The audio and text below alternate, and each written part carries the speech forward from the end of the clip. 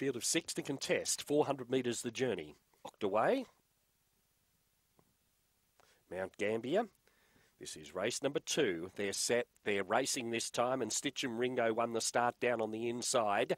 In second placing, railing through now came Smoky River. There, followed by in third placing Young's Lane. Further back then, Compton Brett, well back out of its ground. Proud Molly being passed by Compton Pete off the back, and Stitchem Ringo.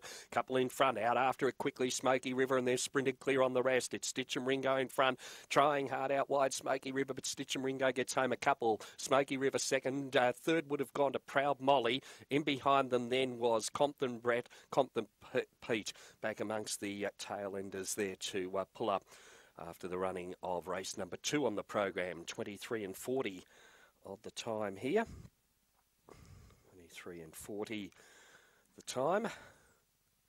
And the uh, numbers about to come up on race number two on the program here at Mount Gambier.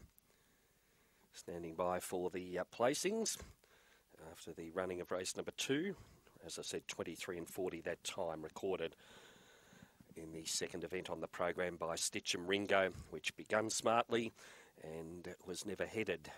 Smoky River was making ground in the straight, did track a little wide. It's got second, number four, and third went to number two, Proud Molly. One, four, two, five gets fourth, Compton Brett. One, four, two, five, 23 and 41, that official race time.